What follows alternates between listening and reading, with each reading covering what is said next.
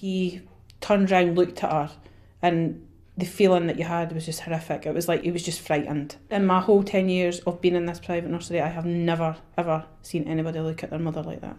When he died, we knew that it was bad, but we didn't have any idea of the level um, that it was actually at.